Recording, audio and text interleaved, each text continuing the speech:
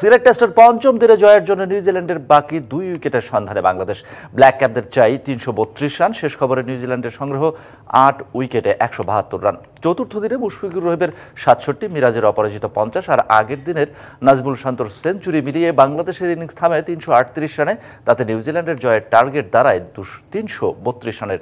জবাব দিতে নেবে দলীয় শত রানের আগেই ছয় উইকেট হারায় নিউজিল্যান্ড, আর সাত নম্বর উইকেটের পতন ঘটে দলীয় একশো দুই রানে। চল্লিশ রানে চার উইকেট নিয়ে কিউইদের গতকালই ব্যাকফুটে ঠেলে দেন টাইগার স্পিনার তাইজুল ইসলাম।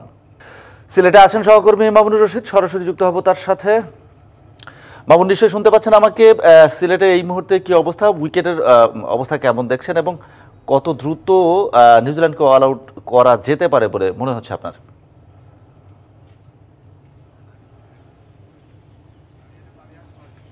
শুরুতে আসলে নাইম হাসান একটা উইকেট তুলে নিয়েছে। আট উইকেট পড়ে গেছে নিউজিল্যান্ডের মাত্র দুইটা উইকেট আছে। এটা আসলে সময়েরই ব্যাপার, একটা অল্প সময়ের ব্যাপার যে বাংলাদেশ জয়ের সুবাতাস পাচ্ছে। যে চায়ের দেশে নিউজিল্যান্ডকে হারানোর মতো একটা স্বাদ পেতে যাচ্ছে বাংলাদেশ। ইতিহাস গড়া জয় বলব, কারণ নিউজিল্যান্ডের বিপক্ষে বাংলাদেশ এর আগে একটা টেস্টে জিতেছে, সেটা দেশের বাইরে। এই প্রথম আসলে দেশের মানুষের সামনে বা দেশের যে সমর্থক আছেন, ক্রিকেট সমর্থক, তাদের সামনে নিউজিল্যান্ডকে হারানোর স্বাদ পেতে যাচ্ছে বাংলাদেশ দল। তো সেই জায়গা থেকে এই জয়টা অনেক বড় একটা জয় হতে যাচ্ছে বাংলাদেশের জন্য, এটা আসলে বলার অপেক্ষা রাখে না। আর যেটা বলছিলেন যে উইকেটের আচরণ উইকেট আচরণ আমরা সকাল থেকে দেখছিলাম যে আসলে দুই স্পিনার ব্যবহার করা হচ্ছে। নাইম এবং কাজুলকে দুই পাশ থেকে ব্যবহার করা হচ্ছে এবং তারা কিন্তু বলে বেশ ভালো টান পাচ্ছেন নাইমের কথা আলাদা করে বলতে হয়। এত বেশি বড় টান পাচ্ছেন যে তার বল স্টাম্পে থাকছে না আসলে। অফ স্টাম্পের বাইরে পড়ে টান করে সেটা লেগ স্টাম্প ছাড়িয়ে চলে যাচ্ছে। তাইজুল একইভাবে তাইজুলের বল দেখেছি আমরা বেশ কিছু বল নিচু হয়ে গেছে। সেভেন হর্স সিমেন্ট নির্মাণে শক্তি। তো বাংলাদেশের বোলারদের আধিপত্যটা বিস্তার আছে। খুব কম সময় হয়তো বা নিউজিল্যান্ডকে আমরা অল আউট করে টেস্টটা জয় নিয়ে, টেস্টে জয় নিয়ে নিউজিল্যান্ড বিপক্ষে প্রথম জয় নিয়ে ঘরের মাঠে। আমরা হয়তো মাঠ ছাড়তে পারব। এই যে বাংলাদেশের একটু ফিরা বিশ্বকাপে ব্যর্থতার পর বাংলাদেশ দল যেভাবে কাম করেছে, আমরা সব প্রথম থেকে বলছিলাম যে একটু স্পিন ট্র্যাক হবে স্পিন ট্র্যাক হবে। নিউজিল্যান্ড দলও কিন্তু দেখেন যে আপনি বেশ কয়েকজন প্রতিষ্ঠিত স্পিনার ছিল, কিন্তু বাংলাদেশের স্পিনাররা তাদের থেকে বেশ এগিয়ে ছিল।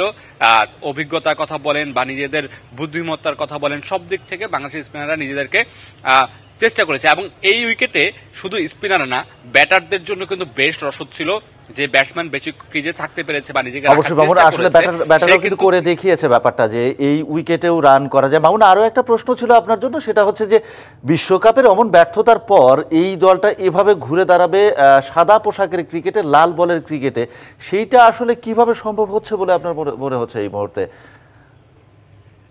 যেটা সবচেয়ে বেশি মনে হচ্ছে সেটা হচ্ছে তারুণ্য নির্ভর একটা কমিউনিটি বা নিজেদের মধ্যে বন্ডিংটা তৈরি হয়েছে। আপনি দেখবেন এই দলে তামিম নেই, সাকিব নেই মাহমুদুল্লাহ রিয়াদের মতো অভিজ্ঞ প্লেয়ার নেই। বিশ্বকাপে যে প্লেয়াররা ছিলেন, তাদের তামিম তো বিশ্বকাপে ছিলেন না, সাকিব মাহমুদুল্লার মতো অভিজ্ঞ প্লেয়ার ছিলেন। কিন্তু এই টেস্টে দেখুন যে তরুণ অধিনায়ক অভিষিক্ত অধিনায়ক নাজমুল শান্ত, তার আন্ডারে একটা তরুণ দল, এখানে শুধু একমাত্র সিনিয়র মুশফিকুর রহিম। এবং এই তরুণরা কিন্তু আন্ডার নাইনটিনে খেলা, একসাথে আগে খেলে এসেছে এবং বেশ কিছুদিন ধরে একসাথে খেলছে। তো এদের মধ্যে যে একটা বর্নিং আছে, সেই বন্ডিংটা কিন্তু বেশ ভালোভাবে কাজে লাগছে এবং আমরা মাঠেও দেখেছি। মাঠেও দেখেছি নিজেদের মধ্যে, আমরা শান্তকে দেখেছি, তিনি অভিষিক্ত অধিনায়ক কিন্তু সিনিয়র মুশফিকের কাছে বারবার গিয়েছেন, তিনি মুশফিক থেকে বারবার সাজেশন নিয়েছেন। এই যে নিজেদের মধ্যে পরামর্শ করা মাঠের মধ্যে এককভাবে সিদ্ধান্ত না নিয়ে সবাই মিলে একটু চিন্তা করা যে আসলে আমরা কোন ট্র্যাকে আছি, কোন পথে হাঁটছি, এই বিষয়গুলো মনে হচ্ছে আমার বেশি কাজে দিয়েছে এবং বেশ প্রাণবন্ত মনে হয়েছে এই দলটাকে, একটা ইউনিট মনে হয়েছে এবং এই দলটা যদি বেশি দিন যদি একটু সার্ভাইভ করতে পারে একসাথে, আমার মনে হয় যে ভবিষ্যতে বাংলাদেশ ক্রিকেটের জন্য ভালো কিছুই অপেক্ষা করছে পাপন। আসলে এই এই টেস্ট থেকে আমার মনে হয় যে অনেক কিছু পাওয়ার আছে বাংলাদেশের এবং পেতে যাচ্ছে বাংলাদেশ। মামুন, ধন্যবাদ আপনাকে।